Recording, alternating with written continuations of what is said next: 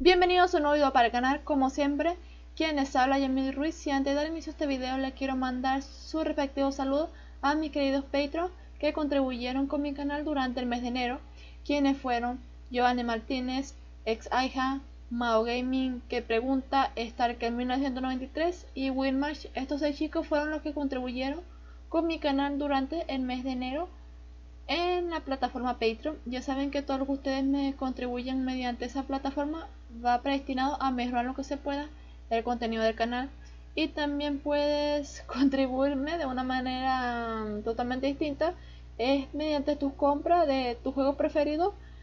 Mediante mi link de referido que vas a encontrar en la descripción del video hacia Instagram y G2A. Es decir, tú únicamente vas a clicar vas a entrar a uno de esos links que siempre dejo en la descripción de mis videos, accesas, compras el juego que tú quieras y automáticamente con esa compra ya estás contribuyendo con mi canal. Así que bueno, en fin, ya dejando atrás la respectiva publicidad que siempre hago antes de iniciar mis videos, el día de hoy ya después de tener un tiempo sin hacer un videoblog, Hoy les voy a hablar más o menos de cómo es el internet aquí en mi país, ya que veo que muchos de ustedes tienen, ¿cómo decirlo? Tienen ciertas dudas. Veo que me preguntan en los comentarios.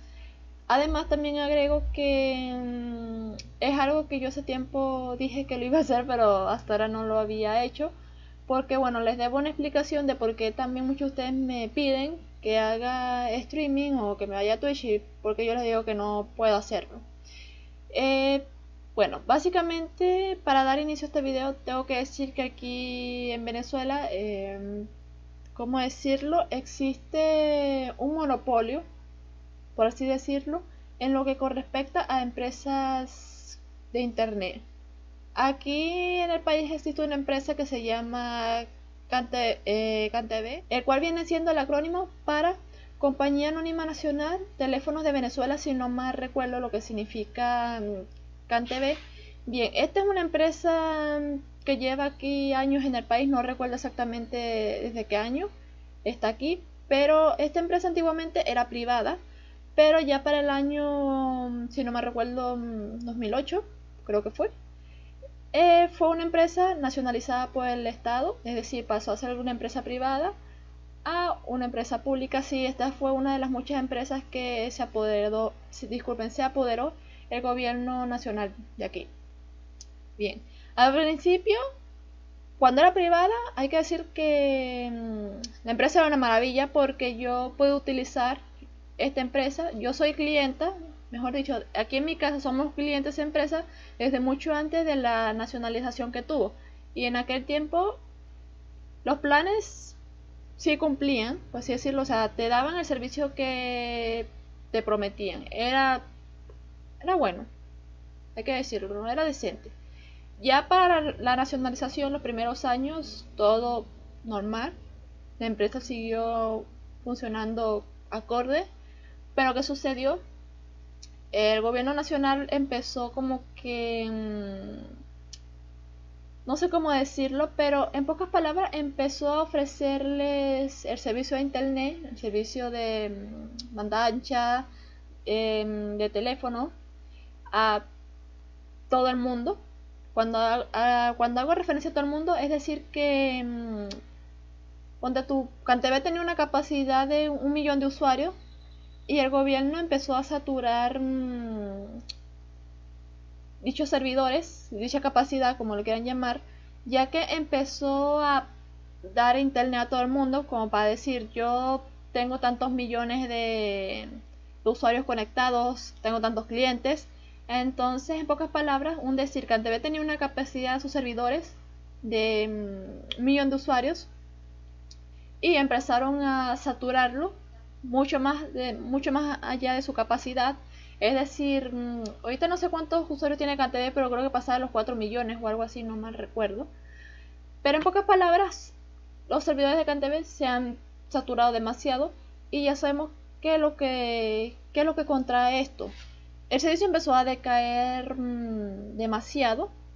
Ya las descargas no eran tan estables, o sea, la velocidad que te ofrecía la empresa no era ya la que cumplía en horas, determinadas horas del día, a veces se te cae el internet o simplemente te daba una conexión muy lenta. Aparte de conectar demasiados usuarios, el gobierno no invirtió en mejorar la infraestructura.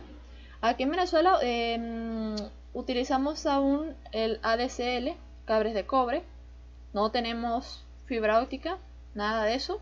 Todo es una tecnología muy vieja. No se ha, disculpen, no se ha invertido en mejorarla ni nada. Lo único que el gobierno mejoró fue que antiguamente, que antes de la nacionalización, el plan máximo era de 2 Mbps y actualmente el plan más alto es de 10 Mbps. Pero ¿qué sucede?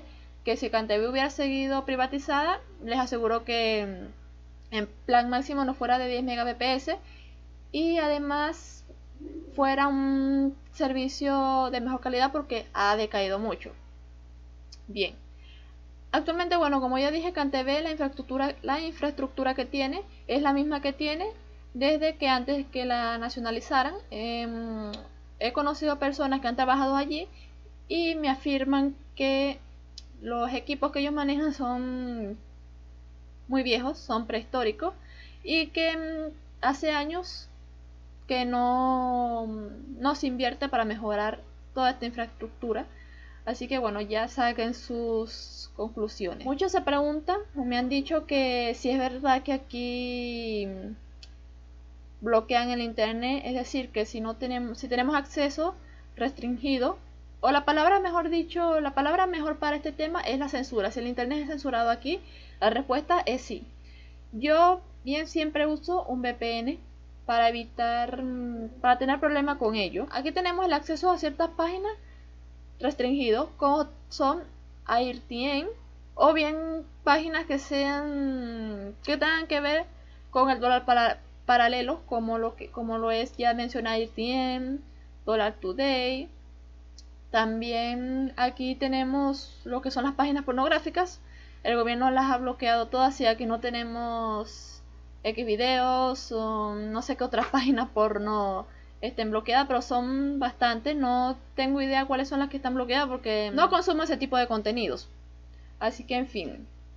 También a veces nos bloquean lo que es Wikipedia, Google, la Play Store. ¿Por qué hacen esto? Principalmente es cuando hay manifestaciones o yo qué sé. Ellos como que bloquean las redes, un cierto tipo de redes sociales para que la gente como que no, no se informe. Por ello, por eso los principales blancos son YouTube y Google. O sea, mm, prácticamente bloquean todos los servicios que ofrece Google porque también la Play Store cae. La Wikipedia, a, veces, no sé por qué bloquean la, la Wikipedia. Pero en fin, hay otras páginas más allí que bloquean, pero estas son las principales. Otra cosa más que se me olvidó agregar es que también tienen el Tor censurado aquí, no podemos usar Tor, pero bueno, sabemos que Tor es Tor y con ciertas configuraciones que le apliquemos allí podemos accesar mm, sin problema alguno. Pero predeterminadamente está bloqueado. Así que ya saben que si definitivamente aquí el internet es muy censurado. Si me preguntan cómo es que yo acceso YouTube y demás, bueno, ya dije, yo siempre uso VPN. Y aquí vamos a ver por qué no puede streamear. Ya al principio mencioné que aquí mm, los servidores de CanTV las centrales están súper censuradas. Si tienen una capacidad de un millón de usuarios de clientes, están sobresaturados con más de hasta el doble de su capacidad. Esto, como bien ya indiqué, limita bastante lo que es la conexión a internet.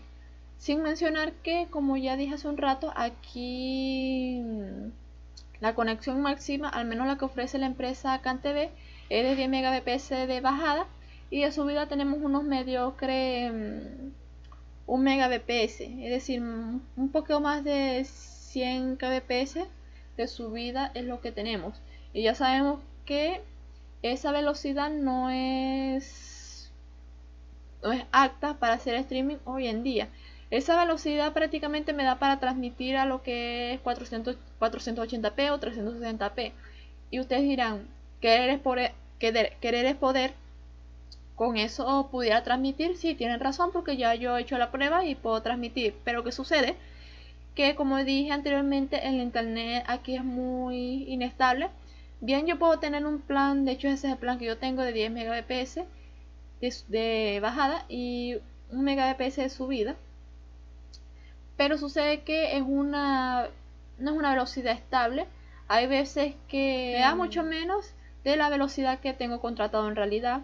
Sucede también que hay como que mini, cortes, no sé a qué se deba, que, mm, por ejemplo, yo estoy transmitiendo, con la descarga esto no se nota mucho, pero cuando yo transmito, hay como que mm, pequeños cortes, como mm, delay, y eso la verdad afecta mucho. De hecho, lo que muchos de ustedes que han visto mis streaming ven que sucede eso, que como que me quedo pegada y al rato como que se acomoda. Y hay otras veces que como que streameo y queda fino y la verdad que eso es, es bastante incómodo.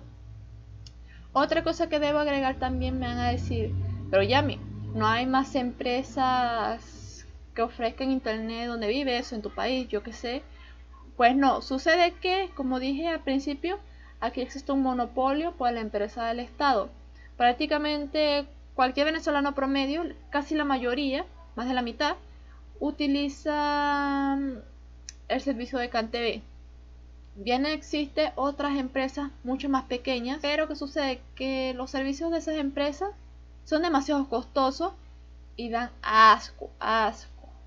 CanTV es un asco, pero su precio lo justifica. Y no me vayan a, decir que así pongan un, una tarifa justificable al plan que ellos ofrecen, van a mejorar el servicio. Eso es totalmente falso porque si fuera así, años posteriores hubieran mejorado la infraestructura y no, no creo que ya que ya lo hagan.